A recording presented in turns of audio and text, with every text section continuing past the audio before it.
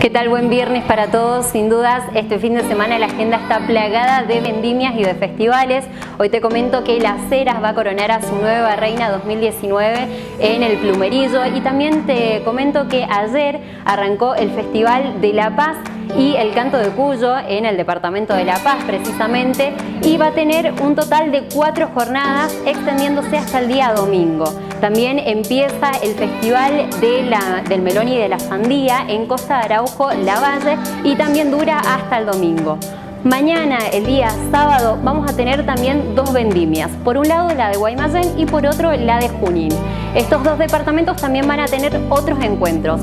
Por el lado de Guaymallén, va a celebrar el Festival del Camote el día domingo en eh, la Rotonda de Salcedo, en Los Corralitos, lugar que también va a destinar para su vendimia, mientras que Junín empieza hoy el Encuentro de las Naciones y finaliza el día domingo, teniendo en el medio el día sábado su vendimia.